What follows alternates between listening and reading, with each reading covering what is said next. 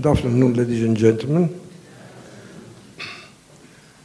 So I've been asked to give you the story of uh, Strathmore and of the first arrival of Opus Dei in Kenya. Next year, uh, 2018, will be 60 years since the first people of Opus Dei came to this country. Was not yet a country, was still a, co a colony, as you may well remember. But 60 years for you is longer than your lifetime. Not longer than mine. so I have seen the whole uh, development, the whole history, and I'm going to tell you the details, or at least some details. If you are not satisfied by this at the end, just ask me, and I will tell you whatever I know. I cannot tell you things I don't know. So the main uh, uh, idea of a university in Kenya was not St. Josemaria. But St. Josemaria had no intention of starting Opus Dei in Kenya at all. We are in the year 1957, so it's a little more than uh, 60 years ago. And there was already commitment to start Opus Dei in uh, uh, two places in the world, namely El Salvador in Central America and Japan in the Far East. But uh, Nuncio, not the Nuncio, because those days the, the, the, country was not yet independent. He was known as the apostolic delegate of the Holy See for East and Central Africa. His name was Gaston Mojaisky. So the name already gives you away, he was half Polish. He was half was Italian, I think his mother was Italian, his father was Polish. And he had met Opus Dei in Mexico, where he had been on a mission, on the usual mission of uh, diplomatic service to the Holy See. He had made good friendship with uh, Father Pedro Casciaro, who was at the time the vicar of Opus Dei in Mexico.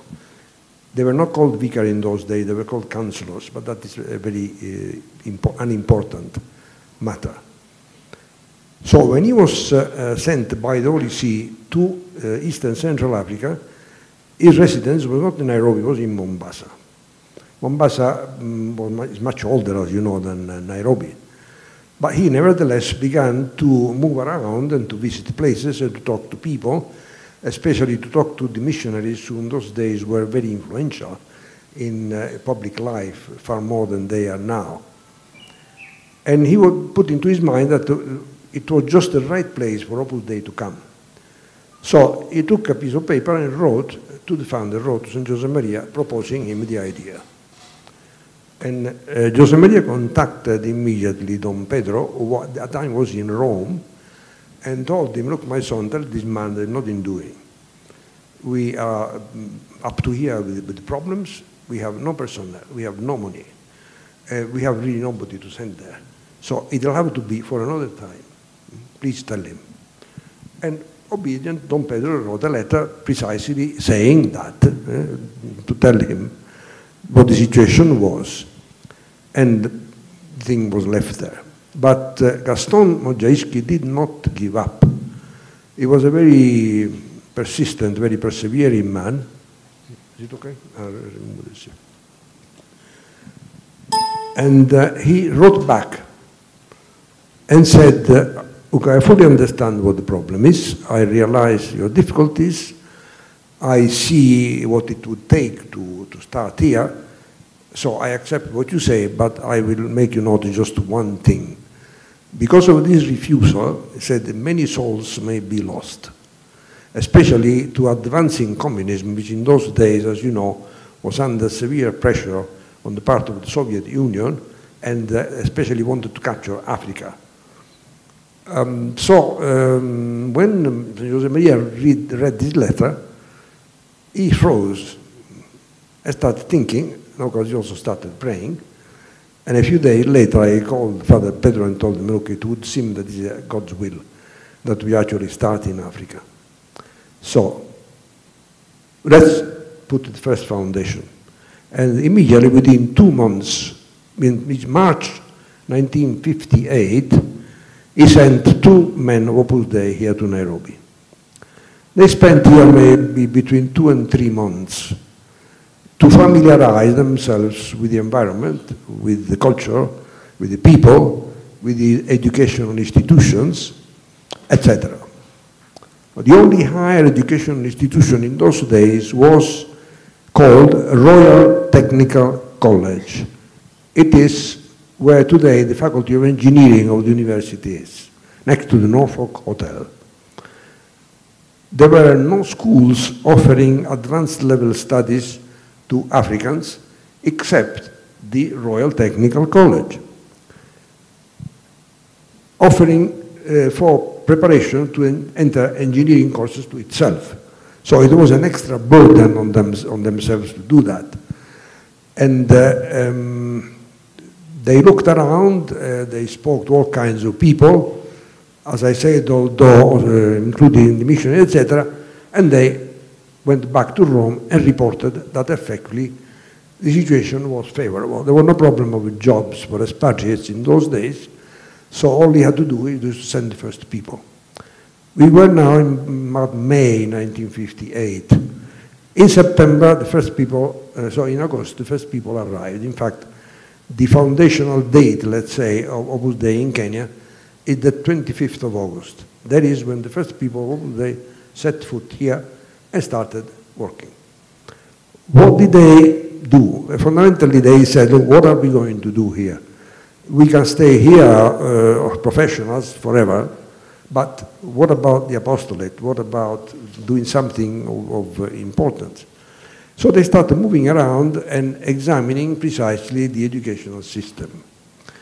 The educational system in those days was uh, uh, entrusted to the Cambridge, um, I'm talking about secondary now, uh, to the Cambridge um, higher certificate, whatever it was, institute, etc.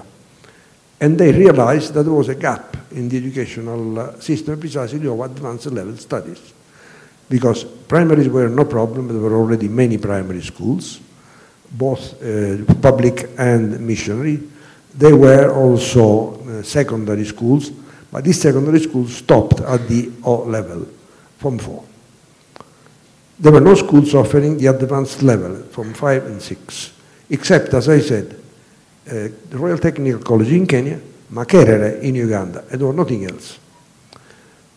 So they, they, they decide, okay, let's then start a college on these lines, occupying that gap, filling the gap between secondary and university.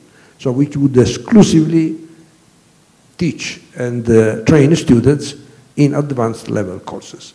This was Strathmore College, which today has morphosized itself, has uh, metamorphosized itself into Strathmore School, and then has spawned as a kind of uh, um, offspring, Strathmore University.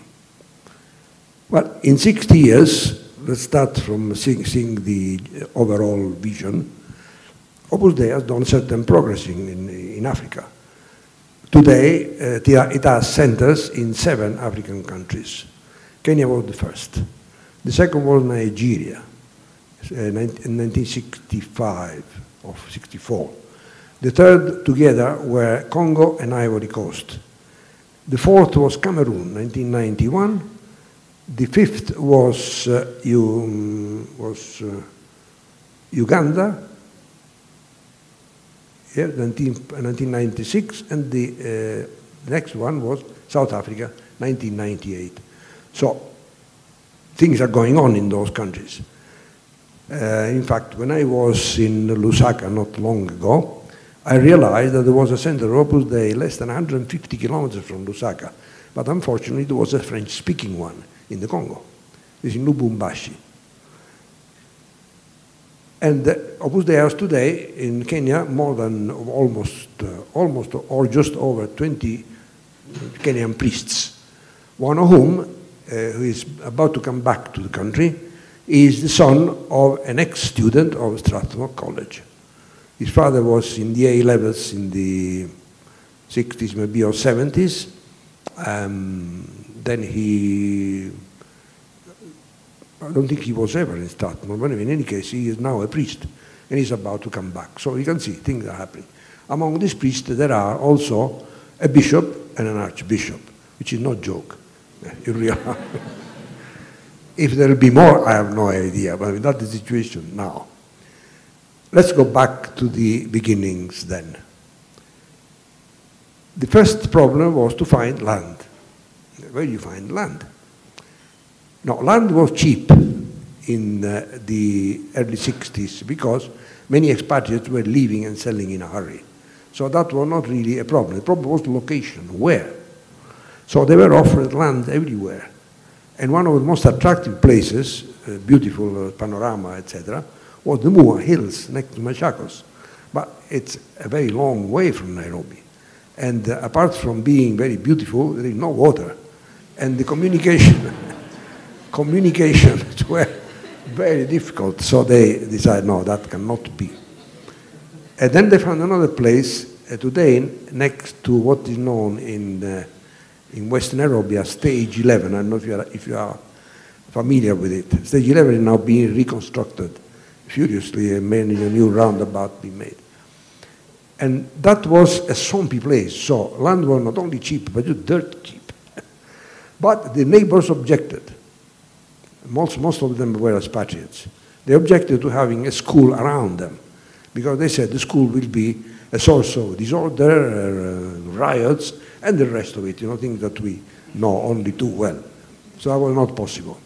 But then they bumped into the place where Strathmore uh, School is now, and that was property of the Archdiocese of Nairobi. It was part of the old St. Austin's mission. In fact, when we got that place, there were still uh, odd coffee trees growing here and there and everywhere. But that was what, what uh, turned out to be the right choice. So, that place was bought, negotiated, and everything else. Then they found a contractor. And the contractor was none other than the contractor who had built Nairobi airport before this one. His name was Hugh Pierce, and he took it on. And he was a good contractor, except that he committed a fatal mistake that uh, eventually spelled his bankruptcy. I will tell you all about it in a minute. So that began, uh, the construction uh, began, began in about June, I think it was, 1960. I arrived here uh, a month later. So when I arrived here, Strathmore College was literally a hole in the ground. We did not start in January 61. Uh, how did I get involved into all this? Well, um, Vincent has already told you. The main uh, friend of Monsignor Mojaisky was uh, Father Pedro Casciaro, and he was living in Rome. For some reason or other, we met. And he put into his mind that I could have been a good person to send to, to Kenya, to. So one day he asked me that question that Vincent I already told you. And I said, yeah, I wouldn't mind because I like outdoor life. And so uh, very short for, for, the rest of my life, just no problem. but the other problem was learning English. I didn't know any. and I started frantically to use all kinds of books and manuals and stuff, etc. But the time was advancing, was, uh, and eventually I was told that I would not go there alone. I would go there with another numerary Opus Dei called David Sperling. I don't think he needs any introduction. and so we met, I think it was in May, from, I don't remember, uh, May or June. And we were briefed about uh, the situation that we would um, meet and everything else. And then time came to make the uh, application to the colonial government to come here at the British Embassy in Rome. So we went together. And uh, um, since I was completely illiterate in English, he said, look, don't worry, he says, you, I, wrote, I wrote my application form and you to copy it. so he, he, did that, and I started copying. And when it got to the birth date, I copied exactly the same birth date. And he said, no, you ignorant, to put your own birth date. I said, I know, but that happens to be mine too so we found out by uh, fulfilling bureaucratic uh, demands that we were born exactly on the same day, all the same year. And ever since, we have been celebrating our birthday together. Uh, we are both alive, thank God, but that is how, uh, how things uh, then began. We arrived here not by plane. There were no flights in those days, at least reliable flights. There were um, cruise ships that would come here, actually passenger ships. And one of them was the one we took because we were given a free passage um, by some friend who was involved with other friends, you know, the usual stuff. So we, for, we, the price of one ticket, two of us traveled to uh, Kenya, and that was it. We arrived in Mombasa in the evening uh, of the 27th of July because the ship had been delayed by people who wanted to see the, the pyramids in Egypt. So the ship was several hours late. We didn't make the, uh, the harbor in daytime. We had to leave the whole night. The next day we uh, disembarked and then some friends took us to Nairobi. Now take this now. We talk about progress. We talk about new technology and all that stuff. You know how long it took us to drive from Mombasa to Nairobi by Volkswagen Beetle and with no tarmac road in July 1960? You won't guess it, six hours flat. Try today. Try with a Mercedes 350, you can beat that. You won't. because things have not progressed at all. They have gone backwards. And traffic on the Mombasa Road is impossible, as you well know. But uh, in those days, it took us six hours. The only building that uh, we found in Nairobi, uh, just at the, at the, roundabout of uh, Mombasa Road with this uh, road here, was the Khalsa Girls' School, which had just been built. There was nothing else. Today, the place is thriving with uh, construction and all kinds of things. So we could not start classes on, the, on January, we start them in March 1961. And uh, since my, my English was still rickety, I took over the job of bursar. I manipulated uh, money and income and all these kinds of things. It was only next year that I began to give classes, and I did not stop for another 44 years, until retirement 10 years ago.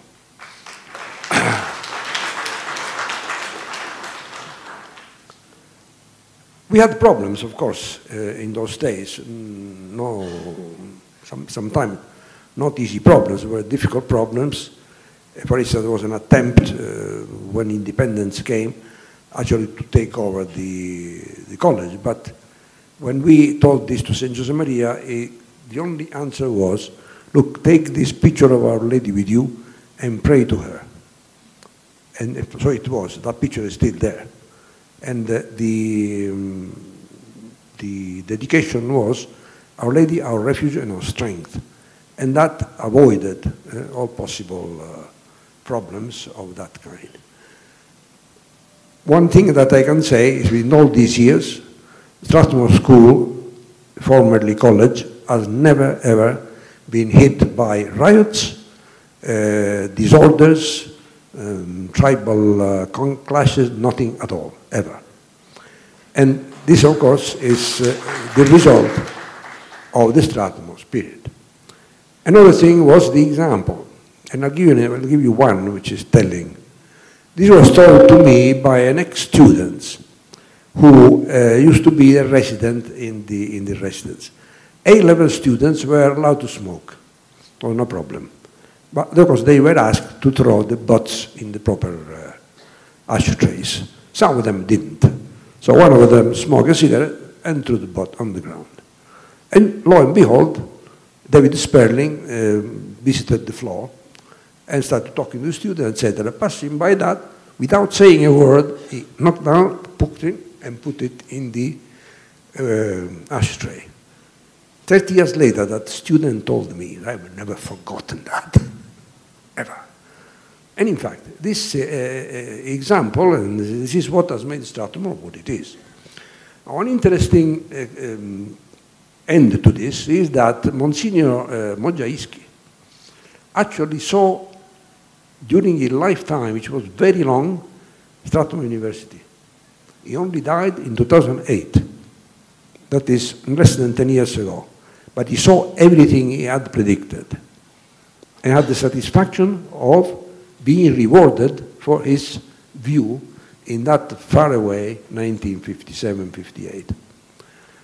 I don't think I have anything else to add, but uh, as I said, if you want to ask any questions and, uh, and want further explanation, elucidation, etc., I have no problem in answering you.